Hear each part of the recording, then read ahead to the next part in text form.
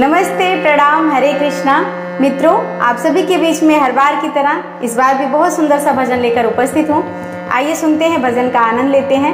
और अच्छा लगे तो प्लीज़ हमारे चैनल को सब्सक्राइब करिएगा और हमारे वीडियो को ज़्यादा से ज़्यादा शेयर करिएगा।